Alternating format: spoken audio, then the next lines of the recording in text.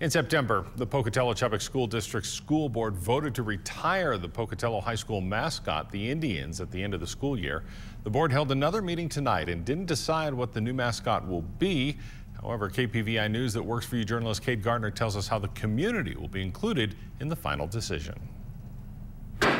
On Tuesday night, the SD25 school board meeting was at times confrontational.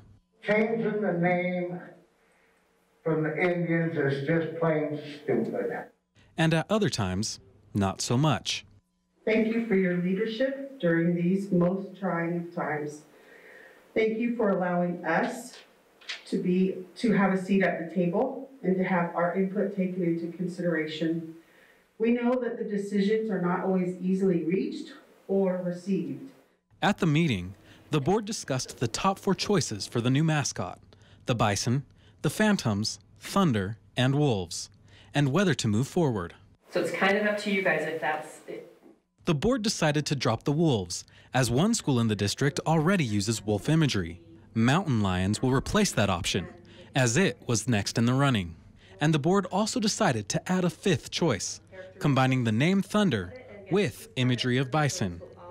A questionnaire will be made available to the public in a few days, where everyone will be able to help make the final decision. Towards the end of the meeting, board members made it clear that deciding to retire the Indians mascot was never an easy decision.